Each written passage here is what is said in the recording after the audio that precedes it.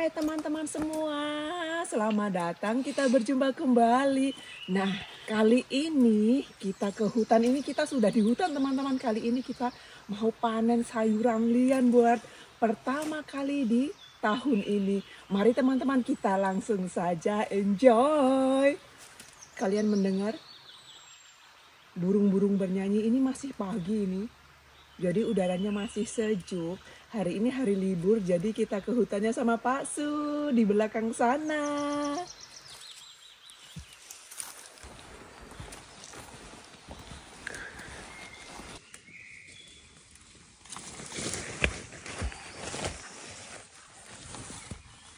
Nah, ini lihat teman-teman. Ini dia sayur liarnya. Dan sekarang ini kita di lautan sayuran liar tuh. Sampai ke sana itu semua sayuran uh, bawang. Jadi di dalam hutan ini aromanya itu aroma bawang, teman-teman. Mari kita langsung saja kita petik sayurnya.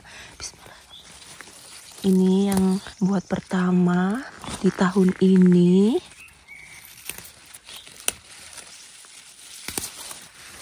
bunganya sudah mau keluar tuh ya. Tapi masih jarang ini bunganya keluar.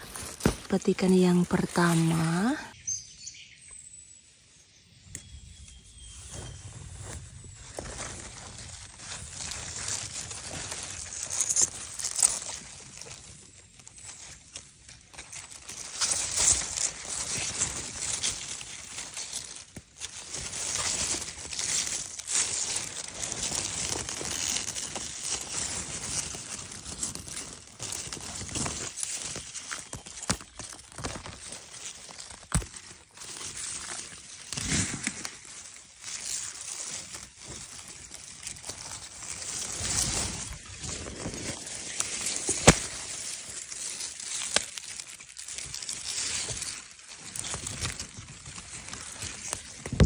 Apa kabar teman-teman semua? Kami berharap kalian semua di mana pun berada sehat-sehat selalu, berbahagia, dan semangat beraktivitas.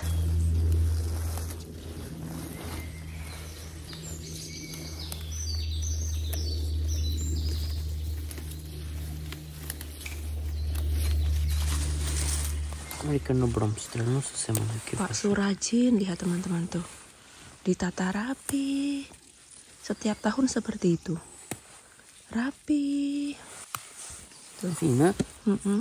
ya? Ya, kata Pak Su, hmm. daunnya itu lembut dan aromanya ini kuat ini benar. Manennya itu benar-benar menikmati teman-teman. Tuh.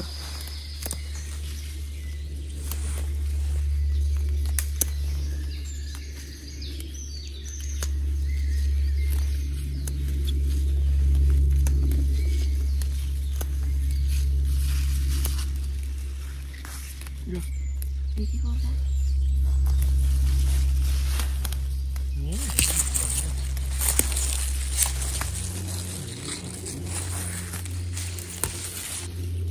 yang lalu itu kita metiknya sudah tua jadi keras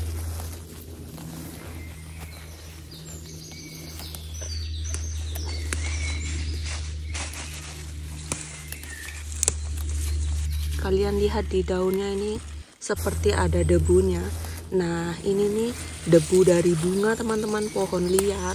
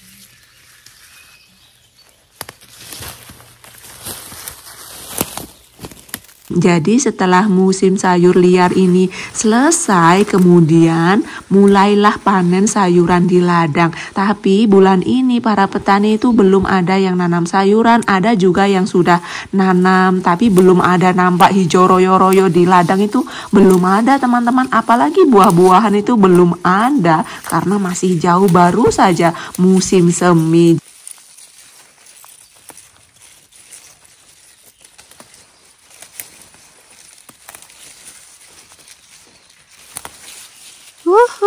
Wuhu, ranjang kita sudah penuh. Seperti ini nih, ini panennya Pak Suni. Nah, ranjangnya kita sudah penuh. Tapi terlihat itu nggak ada bekasnya teman-teman. Mana bekasnya kita petik-petik sayuran liarnya? Nggak ada. Karena saking banyaknya, bener-bener aromanya itu segar, sejuk, dinginnya itu nggak dingin. Ini suhunya 9 derajat. Jadi bener-bener enak ini, nggak panas, nggak beku, hmm, ditemani burung-burung bernyanyi. Ini buat pertama kalinya kita ke hutan nyari sayuran liar di tahun ini.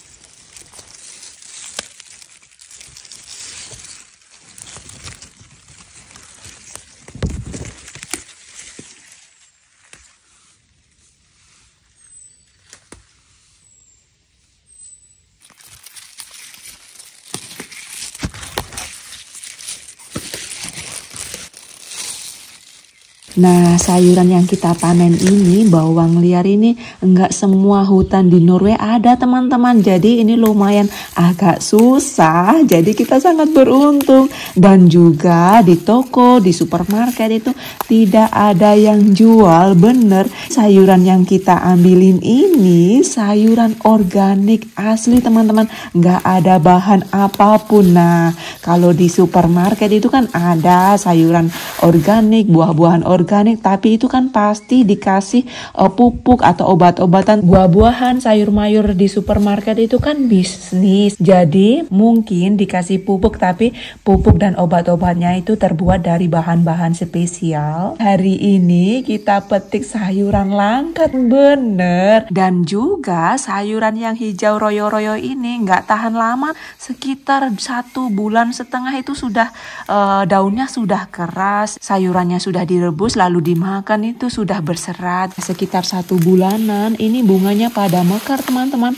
Mekarnya itu cantik banget putih bersih. Ada kok videonya di tahun lalu. Kemudian saat musim panas tiba daun-daun sayur liar ini akan layu menguning terus kering. Sudah musimnya sudah selesai. Tahu nggak teman-teman sayur bawang liar ini? Daunnya itu rata-rata satu saja. Jadi ada satu tangkai untuk daun dan juga satu untuk bunganya. Ada juga yang dua daun ada.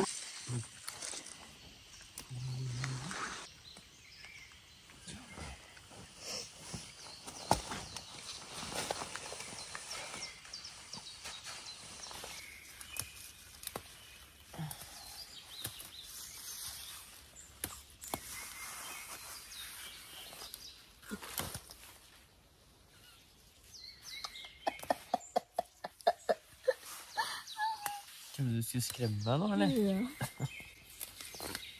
Kaget kan cuman apa itu kaget? Apa itu namanya? Ini petikan yang terakhir. Tuh. Panen sayurannya kita juga nginjak-nginjak teman-teman. Karena nggak ada jalan khusus bener-bener segar ini aromanya rasa nggak mau mengeluarkan yang sudah masuk ke hidung dan yang kecil-kecil banyak banget. Ayo, vi klarer jo ikke å gå her uten å tråkke i den. Kata Pak Su nggak bisa jalan dan itu Pak Su sebenarnya pilek teman-teman karena ini musim bunga bunga alergi itu dari pohon terbagus. Kayunya untuk perapian di dalam rumah itu yang kita beli itu kayu penghangat ruangan. Dan menjelang musim semi itu eh, pohon pertama yang daunnya semi bersamaan daunnya muncul itu bunganya muncul terus bunganya itu ada debunya. Daun-daun ini banyak seperti debu lembut warnanya kuning. Itu bikin alergi. Ada yang alergi di mata matanya menjadi perih menjadi besar-besar seperti timbilen kalau Pak Su ini pilek. Kita ini eh ada ini ada berak binatang liar eh, apa rusa. Kita ini kuat ini nggak ada alergi-alergi dari pohon itu nggak ada. Sudah selesai kita panennya. Kata Pak Su sudah cukup. Kan lucu tidak.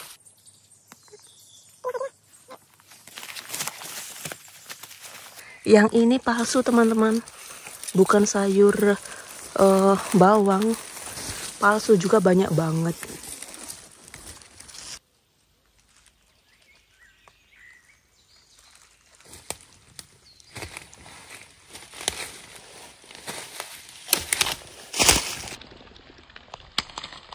Nah, di depannya kita ini, ini sayuran yang boleh dimakan.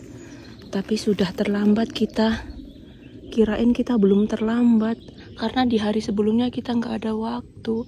Ada waktunya hari ini. Kita nyebrang ledeng. Kita nyebrang ledeng.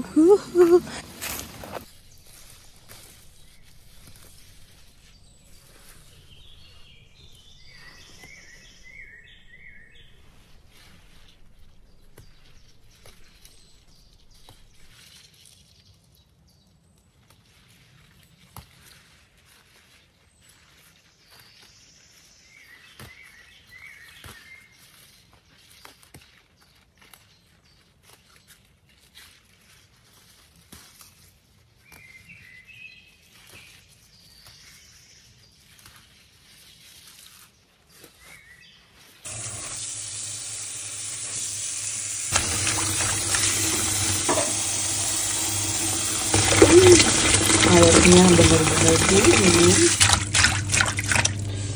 tuh sampai merah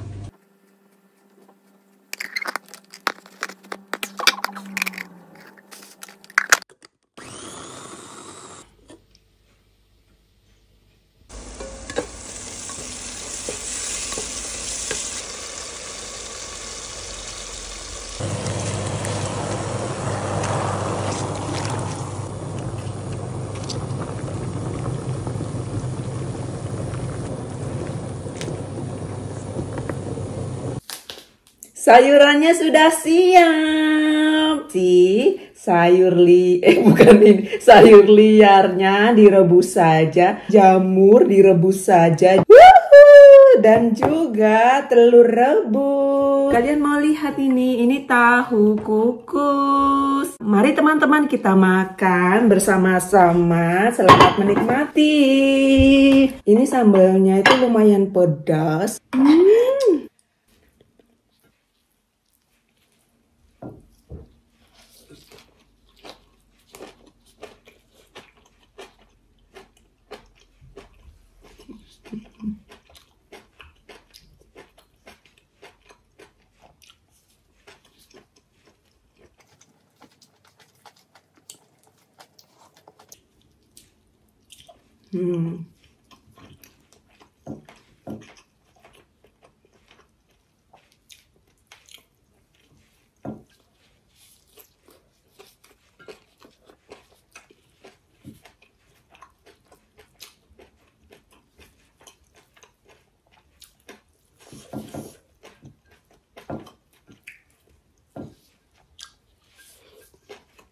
Hmm.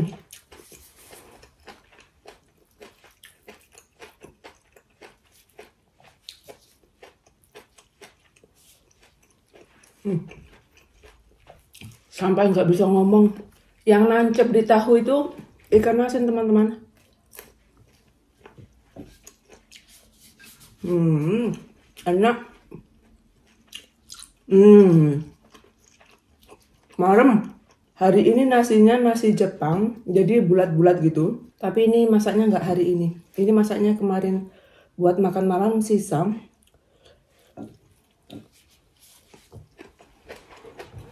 Hari ini panennya 4 jam. Terus 3 jam kemudian kita makan. Karena sayurnya kan direndam dulu. Istirahat. Saya tidur satu jam. Kita berangkat pagi-pagi. Kalau kita panen kita nggak bisa masak-masak aneh-aneh nggak bisa teman-teman waktunya nggak cukup.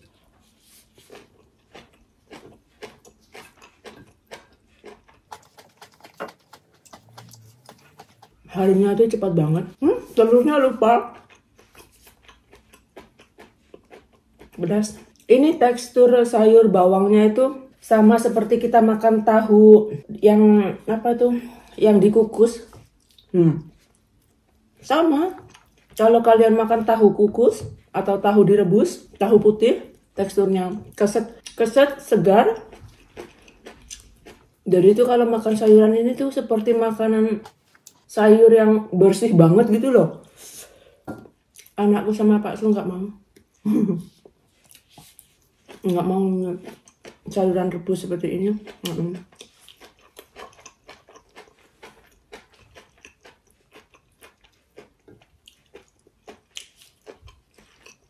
jadi yang makan kita saja. Eh seharusnya kita paksa ya. Demi konten gitu ya. Coba-coba ini coba makan. Sudah nyoba sih ini. Dulu sudah nyoba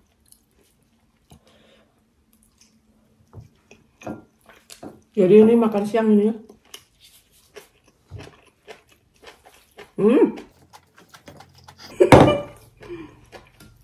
pokoknya nggak bisa berhenti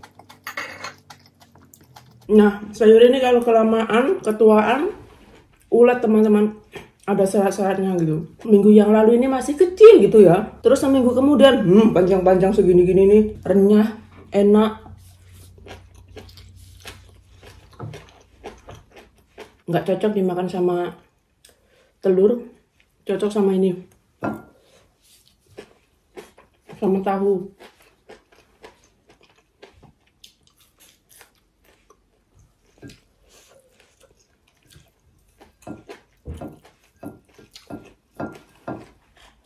Sepertinya ini pertama di tahun ini kita panen sayur bawang. Kayaknya sih juga akan terakhir teman-teman. Kita panen banyak. Soalnya sayur ini nggak bisa tahan lama. Yang ku maksud yang di hutan gitu ya ini satu mingguan atau sepuluh harian ini sudah tua teman-teman kalau sudah tua itu nggak enak kasar daunnya berserat ulet ini kan lembut tuh lembek seperti ganjar. Kalau direbus.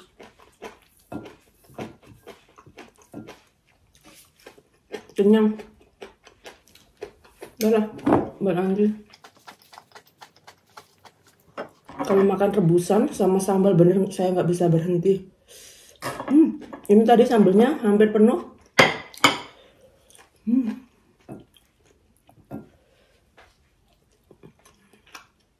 cocok. Sayur ini tahu kukus cocok. Sambal. Telur enggak. Ini tahunya enggak asin teman-teman. Sudah ya. Vlog hari ini. Sepertinya ini tahun ini kita panen sayuran ini satu kali saja sudah cukup kayaknya sih sepertinya sih karena kita melihat ke depannya seperti apa gitu karena harinya tuh cepet banget cepet banget aktivitasnya banyak, harinya cepat banget. Hmm. Kita cemilin ini aja ya. Ikan asinnya. Pedas. Enak. Ikan asin dimakan sama tahu kukus juga enak. Hmm, enaknya. Sampai nggak bisa berhenti ngomong enaknya.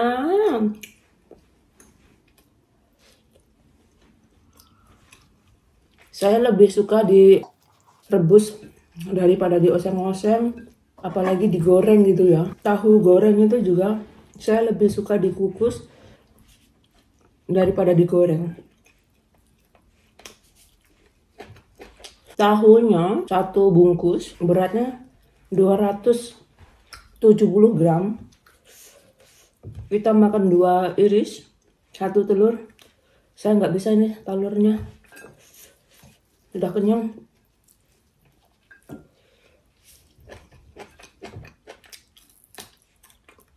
ini nggak begitu asin teman-teman. Ikan asinnya. Saya nggak suka yang asin gitu nggak.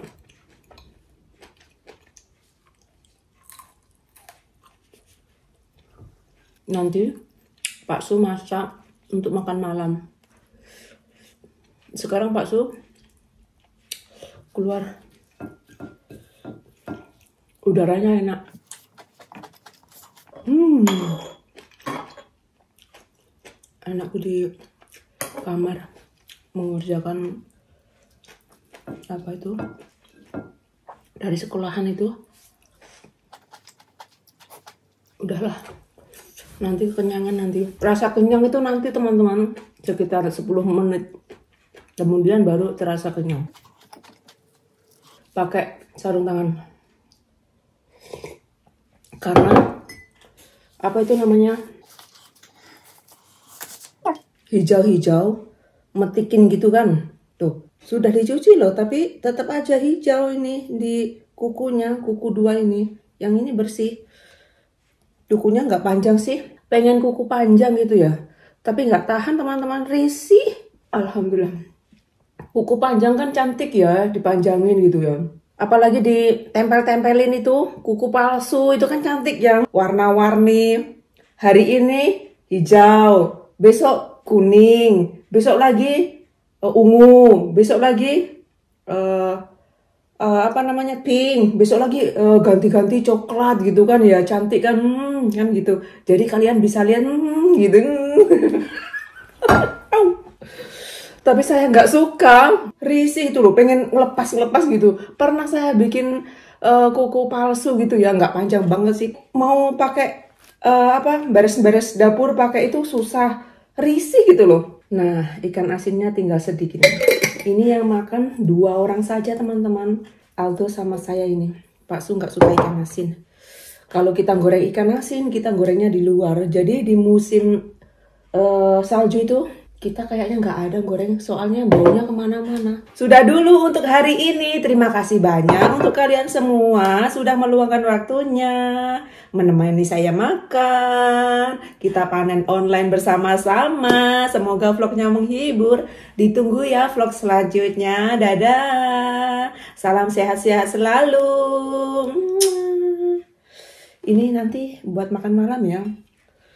Tapi nanti Pak Su itu mau masak ayam teman-teman ayam sama ini nggak cocok karena ayamnya nggak cocok untuk ini nggak cocok. Buat besok aja ya makan sama sambal ya